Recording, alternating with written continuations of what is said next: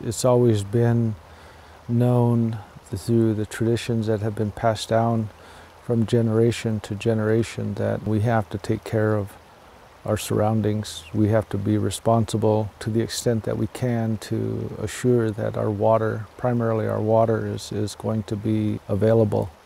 Water is life.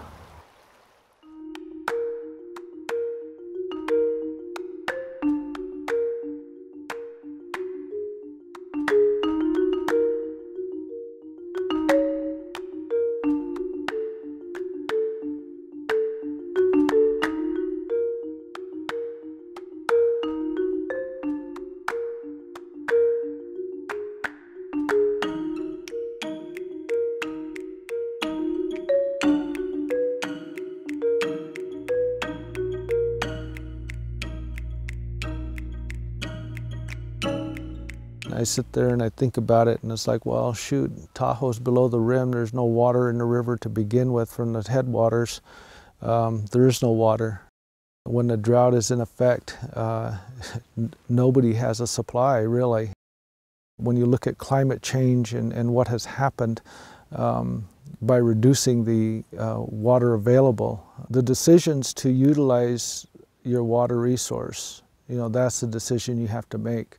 The federal government has given the tribe an amount of water to be received annually. We just finished up our fourth year of drought. We were, this in 2015 during the irrigation season, we only received 21% of our allocated water that the federal government has given to the Fallon Paiute Shoshone tribe.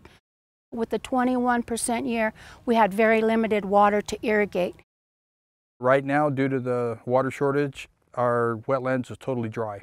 There are practically no migratory birds out here. In my lifetime, I've never seen them just totally dry up. There was no water whatsoever. We don't have a lake here that we can irrigate with. We're relying on our water coming down through from Tahoe through the irrigation, through the systems, through the rivers and into Lahontan. And then that's where the water is stored.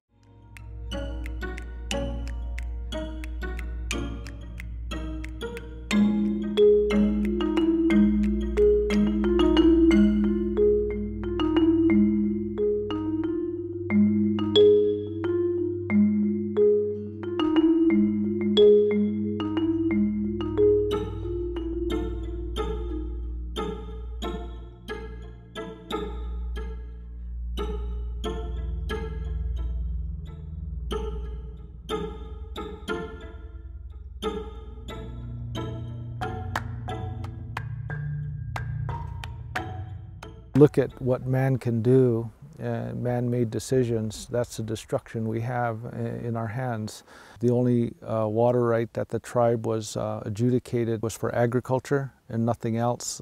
And um, Pyramid Lake is 110,000 acres in size and it evaporates anywhere from three to four feet a year. So it takes about 300,000 to 400,000 acre feet of water just to sustain the lake level.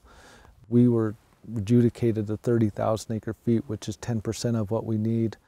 Our people long ago enjoyed the spawning runs. I mean, there was a lot of fish here, a lot of Lahontan cutthroat trout, you know, the trout species, as well as the, the ancient cui-ui fish.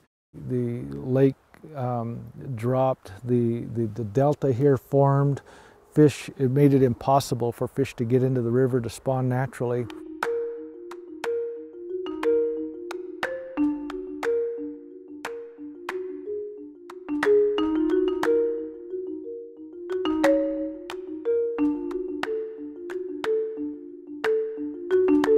We're maximizing the use of uh, the water supply uh, under the Endangered Species Act, and I think if it wasn't for the Endangered Species Act, I don't think we would have the water rights settlement.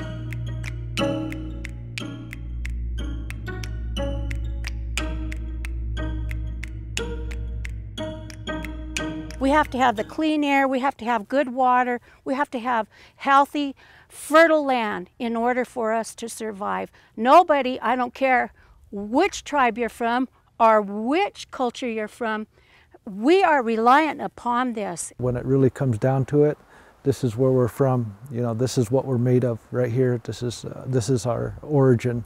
The water, the ground, our Mother Earth, all of these things are all connected to us.